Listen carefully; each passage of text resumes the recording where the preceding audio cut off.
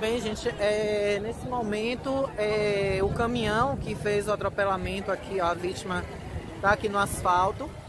Ele seguiu em direção à cidade de Coité e nesse momento a viatura da Polícia Militar que foi fazer o resgate, buscar o caminhão, acabou encontrando e aí nesse momento o caminhão vem chegando com o motorista. Olha aí, ó. O caminhão que segundo as informações seria o caminhão que causou atropelamento. Olha aí, as viaturas encaminhando a delegacia. Bem, gente, aqui em frente à delegacia, já por aqui o caminhão, que segundo as informações teria sido o veículo que causou placa aqui ó, de queimadas.